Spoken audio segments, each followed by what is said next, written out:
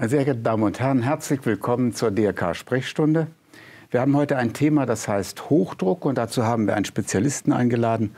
Und dieser Spezialist ist Herr Professor Hausberg. Herr Professor Hausberg ist Direktor der Medizinischen Klinik 1 im Städtischen Klinikum Karlsruhe und ist Spezialist für Nierenerkrankungen und Hypertonus, arterielle Hypertonie, Hochdruck. Herr Professor Hausberg, herzlich willkommen. Was ist eigentlich ein Hochdruck? Ein Hochdruck, also fangen wir an mit dem Blutdruck. Blutdruck ist notwendig, ist die treibende Kraft, um das Blut durch den Körper zu treiben. Da das Herz eben nicht dauerhaft pumpt, sondern immer nur so phasenweise pumpt und sich dann wieder füllen muss, gibt es halt einen oberen Wert. Das ist dann, wenn die maximale Pumpkraft des Herzens sich in die Gefäße entfaltet. Das ist der obere Blutdruckwert, das ist der systolische Wert. Und dann der minimale Wert, der vom Gefäßsystem aufrechterhalten wird, damit das Blut auch weiterfließt, wenn das Herz sich wieder füllt. Das ist so der diastolische Blutdruckwert. Die Normwerte werden in Millimeter Hg angegeben und sind ähm, 120 zu 80. Das ist aber es ist optimal und wunderbar. Und wir können sagen, pathologisch ist alles, was 140 zu 90 und mehr ist. Wann misst man denn seinen Blutdruck? Ja, die meisten Menschen messen es zu wenig und zu selten und zu spät. Mhm. Ähm, man sollte ihn nach den neuen Leitlinien ab dem 18. Lebensjahr auf jeden Fall messen und zumindest alle fünf Jahre, wenn er nämlich normal ist und wenn er nicht normal ist oder leicht erhöht ist, eben auch öfter. Wie ist es denn, wann muss ein Mensch seinen Blutdruck messen? Muss er dazu bestimmte Situationen einhalten? Muss er ihn in Ruhe messen, im Sitzen messen, im Stehen messen? Also die definierte Situation für die Bluthochdruckmessung ist im Sitzen mhm. nach fünf Minuten Ruhe. Man sollte also fünf Minuten in Ruhe sitzen und den Blutdruckwert, den man dann misst, das ist der Wert, den man nehmen kann und dann auch beurteilen kann, ist es zu wenig oder ist es zu viel oder ist es genau richtig? An welchem Arm misst man denn den Blutdruck? Man sollte zu Anfang mal an beiden Armen messen. Mhm. Und man sollte von dann immer den Arm nehmen, wo er höher ist. Nun gibt es ja so eine alte Regel, so eine Bauernregel fast. Äh, Lebensalter äh, plus 100 ergibt dann den Blutdruck, den man haben muss.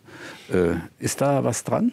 Naja, die ist leider abgelöst, diese Regel. Die machte es vielen Menschen sehr einfach. Die Regel ist abgelöst, das gilt so nicht. Man kann natürlich sagen, das ist ganz klar, je älter man wird, desto höher ist der obere Wert, der systolische Wert. Äh, der untere Wert sinkt sogar, weil die Gefäße halt steifer werden und daher den Druck weniger gut halten können, wenn das Herz eben nicht mehr pumpt. Das heißt also, ein erhöhter Blutdruck ist immer ab 140 zu 80. 190, Den, genau. Und der in Ruhe gemessen, das ist also 140 zu 90, mhm. ganz wichtig, dass das alles, was darüber hinausgeht, ist Hochdruck. Ja, genau. So und warum muss ich den jetzt behandeln? Wofür steht denn dieser Hochdruck? Was ist das äh, für ein Risiko?